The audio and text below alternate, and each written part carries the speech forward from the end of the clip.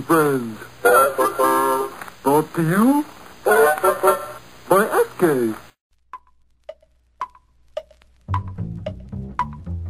Tick tock, tick tock. Grandfather's clock goes tick tock. That clock's got rhythm with a beat that swings.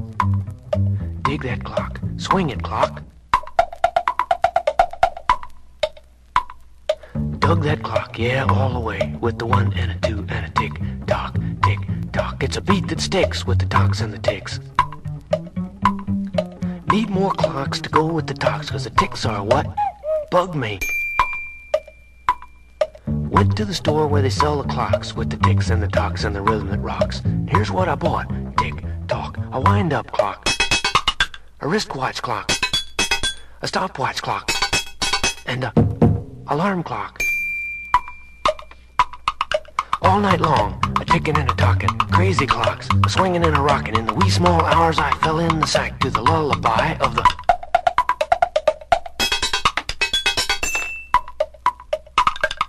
All night long, cozily sleeping, never suspecting of the end that was coming, only listening to the syncopated movements of the calculated clickings of the clocks on the shelf.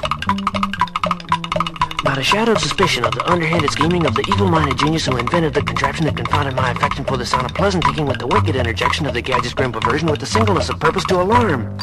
Out the window with the subject to the devil, into the garbage can with the stopwatch, grind the wristwatch into the floorboards, then push over the grandfather's clock.